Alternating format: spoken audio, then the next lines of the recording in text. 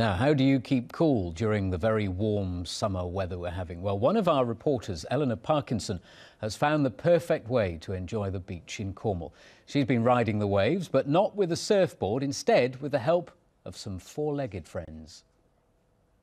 Yes, it's a lovely day down here at Long Rock Beach, a perfect day for a trot or a canter along the shoreline. But not today. Today we've got our wetsuits on because we're going to go for a swim. And these horses just love the water. Today, my swimming partner will be 12 year old Roxanne. As we head out to sea, there's a quick bit of last minute advice from her trainer, Chris. I'm going to guide you through your first swim. Roxanne knows what she's doing. A few yards further out, and we're well and truly out of our depth, and Roxanne begins to swim. Almost completely submerged now. It's just Roxanne's head poking out of the water. And you can't see me, but I'm pretty much in the water. When you see those pictures of astronauts in space being weightless, it feels a bit like that, and that's the closest I could come to describing it.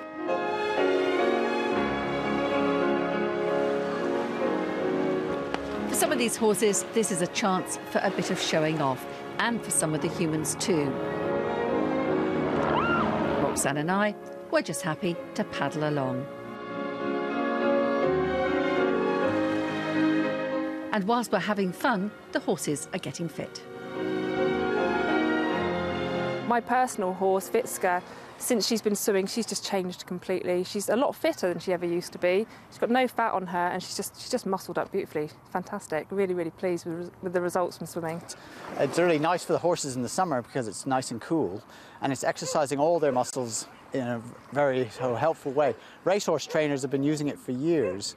Um, we just do it because it's fun. And of course, if it's fun for us and the horses are enjoying it, that's got to be a good thing. So if you're down on the beach enjoying the views of St Michael's Mount, keep your eyes peeled for the Cornish seahorses of Penzance. You might even be able to join them for a swim. Eleanor Parkinson, BBC Spotlight, Long Rock.